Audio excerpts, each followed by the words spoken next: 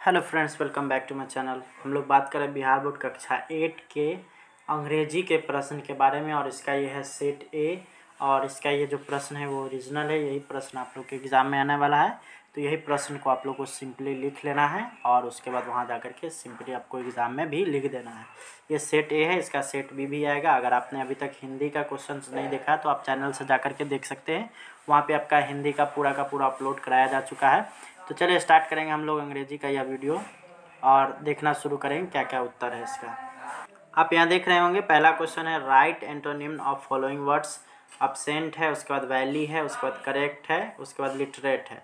इसका हम लोगों ने आंसर क्या किया है, यहाँ पे आप लोग देख सकते हैं, नीचे की तरफ़ आएँगे। तो यहाँ पे आपका, यहाँ पे देखिएगा तो आपका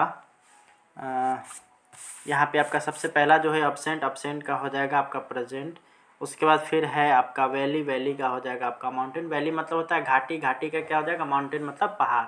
उसके बाद करेक्ट का आपका उल्टा करना है तो इसका हो जाएगा इनकरेक्ट उसके बाद लिटरेट का होगा इलिटरेट आप लोग यहाँ पे देखे होंगे एंटोनिम्न एंटोनिम्न मीन्स होता क्या चीज़ है? उल्टा। उल्टा शब्द हम लोग को लिख देना है। जैसे अपसेंट का प्रेजेंट वैली का माउंटेन करेक्ट का इनकरेक्ट लिटरेट का इलिटरेट अगला सवाल है हम लोग का यहाँ पे match the words in column A with their meanings with column B यहाँ पे आपको इसमें मीनिंग दिया हुआ है और यहाँ पे वर्ड दिया हुआ है। जैसे फर्निश है, उसके बाद ऑर्गेनाइजेशन ऑर्गेनाइजेशन यहाँ पे आपका आई छूटा हुआ है टी के बाद, उसके बाद वर्शिप है, उसके बाद सिंबल है। तो इसमें मिला लेना है इसको। तो इसको मिलाए हैं हम लोग किस तरह से यहाँ पे आप लोग देख सकते हैं। वन को डी से।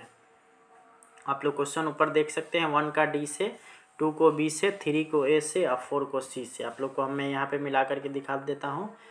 फर्निश का हो जाएगा आपका आउटफिट उसके बाद फिर आपका सिंबल का हो जाएगा आपका इम्ब्लेम, उसके बाद वर्शिप का हो जाएगा प्रे और ऑर्गेनाइजेशन का हो जाएगा डिकोरेट। यहाँ पे ये हो गया इसका, इसको मिलान कर दिया हम लोग। उसके बाद अगला सवाल हम लोगों ने क्या लिया है, यहाँ पे आप लोग देख सकते हैं। Translate the following words. तो यहाँ पे आपको सबसे पहला दिया हुआ है मैं अष्टम वर्ग में पढ़ता हूँ। अष्टम मीन्स होता है आठ। क्लास आठ में ये लोग, मैं मैं आठवीं वर्ग में पढ़ता हूँ। राम और श्याम पढ़ते हैं। सूरज पूरब में उगता है और हम लोग प्रतिदिन विद्यालय जाते हैं। इसका हम लोग ट्रांसलेशन करेंगे तो इस तरह से आएगा। तो सबसे पहला हो गया I am a student of class eight उसके बाद है राम एंड श्याम रीड क्योंकि यहाँ पे दो आ गया यहाँ पे देख सकते हैं, दो नाम हो गया तो ये पुरला नंबर होता है पुरला नंबर के साथ हमेशा भरवन का प्रयोग होता है। उसके बाद है sun rises in the east यानी सूरज पूरब में उगता है, वो हो गया आपका। उसके बाद है आपका, मैं पढ़ते हम लोग प्रतिदिन स्कूल जाते तो we go to school every day ये हो गया यहाँ पे आपका जो है ये ट्रांसलेशन का आंसर तो इस वीडियो में इतना ही। अगला सेट बी भी आप लोगों के लिए आएगा, जो कि इसी का एक पार्ट होगा। तो इस चैनल को सब्सक्राइब कर लें। नेक्स्ट वीडियो मिलते हैं। Thanks for watching bye